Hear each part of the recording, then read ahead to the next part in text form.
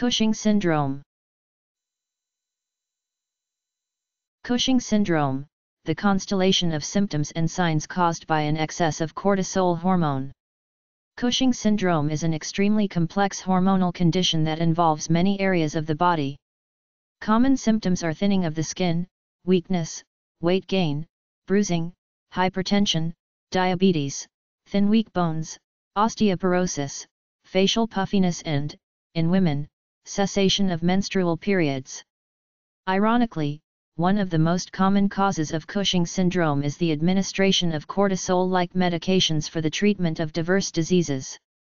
All other cases of Cushing syndrome are due to the excess production of cortisol by the adrenal gland as, for example, due to, the neurosurgeon Harvey Cushing, 1869-1939, described excessive production of cortisol by the adrenal gland due specifically to an ACTH-secreting pituitary adenoma, a benign pituitary tumor that puts out ACTH, adrenocorticotropic hormone. This drives the adrenal gland to overproduce cortisol.